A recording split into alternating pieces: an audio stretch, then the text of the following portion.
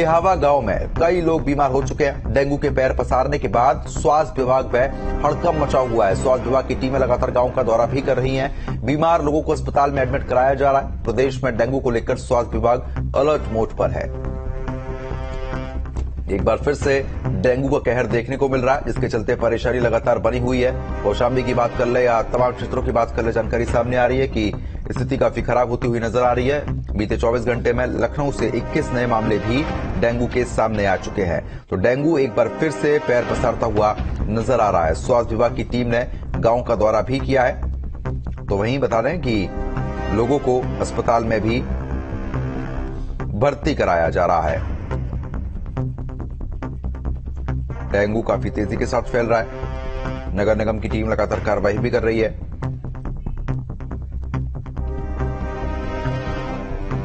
लखनऊ में एक ही दिन में 21 नए केस सामने आ चुके हैं। इसके चलते लोगों में काफ़ी डर भी है। मौसम में बदलाव के साथ डेंगू भी हमलावर हो रहा है। बता दें कि बीते 24 घंटे में लगभग 25 लोगों की डेंगू की रिपोर्ट पॉजिटिव आई है, जबकि सात लोगों में मलेरिया की भी पुष्टि हुई है। जनवरी से अब तक शहर में डेंगू के 335 और मलेरिया के 300 से ज़्यादा मरीज़ मिल चुके हैं। सरकारी और निजी अस्पतालों में करीब दर्जन भर डेंगू रोगी भर्ती होकर इलाज भी करा रहे हैं। तो बता दें कि डेंगू के साथ बुखार के रोगियों की प्लेटलेट्स भी कम होती हुई नज़र आ रही हैं। प्लेटलेट्स कम होने के चलते लोग अस्पताल में भर्ती भी हो रहे हैं। डॉक्टर यही सलाह दे रहे हैं कि कहीं भी पानी इकट्ठा ना होने दें, क्योंकि पानी इकट्ठा होगा तो मच्छर पनपेंगे, जिसके चलते डेंगू का कहर एक बार फिर से बढ़ता हुआ नज़र आ रहा है। लगातार जानकारियाँ मिल रही हैं कि डेंगू के चलते आए दिन परेशानी लगातार हो रही है।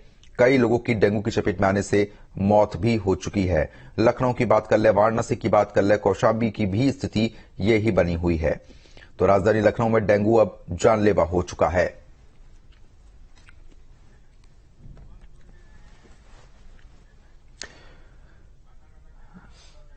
लखनऊ से संवाददाता शुभम पांडे हमारे साथ जुड़ चुके अपडेट देने के लिए। शुभम, बीते 24 घंटे में लगभग 20 से ज़्यादा मामले डेंगू के सामने आ चुके हैं और डेंगू जानलेवा होता हुआ खास तौर पर नज़र आ रहा है। क्या कुछ अभी ताज़ा अपडेट है आपके पास?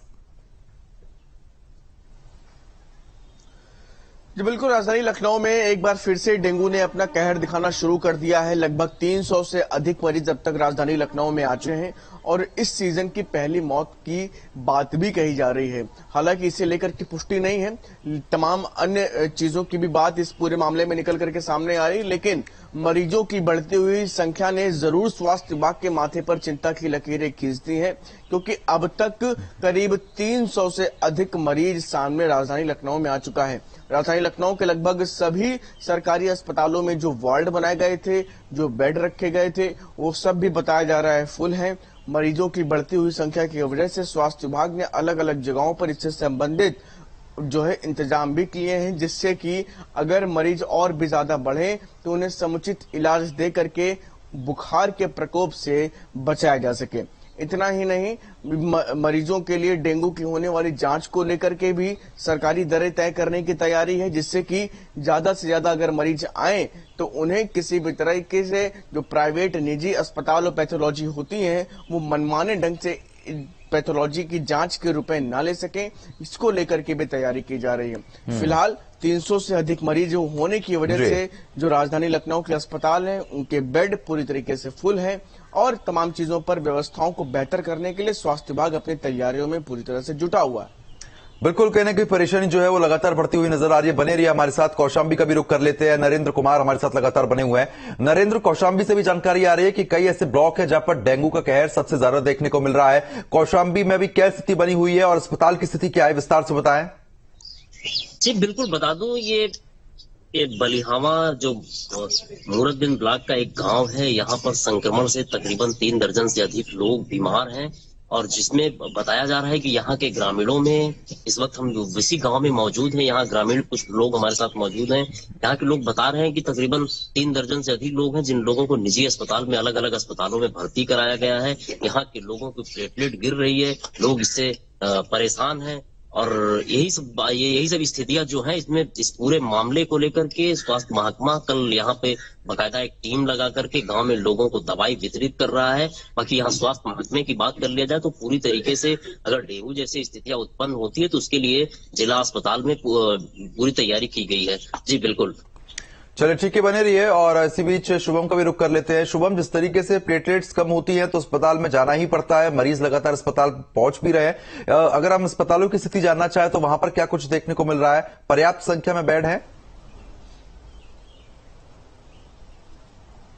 जी, बिल्कुल देखिए, जो बेड से फ़िलहाल फुल हैं और इसके अलावा अस्पतालों में बेड की कमी ना रहे, इसका ध्यान ज़रूर स्वास्थ्य विभाग रख रहा है और मरीजों की संख्या बढ़ने की स्थिति में अलग से वार्ड और बेड भी बढ़ाए जा रहे हैं।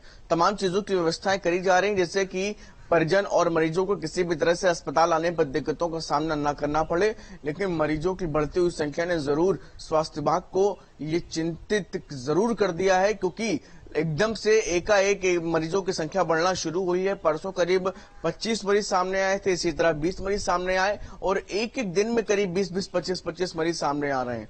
ये ज़रूर डराने वाले आंकड़े हैं, लेकिन इन तमाम चीज़ों से निपटने के लिए स्वास्थ्य विभाग और सीएमओ अधिकारियों और इनके कार्यालय की तरफ़ से ज़रूर चीज़ों को परखने का काम किया जा रहा है, जिससे कि लोगों को किसी भी तरह की कोई दिक्कत का सामना न करना पड़े। चलिए ठीक है, आप दोनों का बहुत बहुत शुक्रिया। तमाम जानकारी हमारे साथ साझा करने